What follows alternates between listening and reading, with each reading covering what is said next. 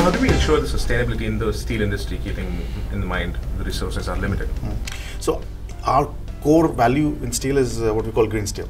Green steel is based on recycling rather than producing new steel, and it applies specifically to developed countries where there is an excess or there is accumulation of steel over time. Steel is not a perishable commodity, so it accumulates. In the UK, for example, we have almost a billion tons of steel in the system, in our bridges, in our buildings, uh, in, the, in the in, in the ground itself. So all of this has to eventually be recycled.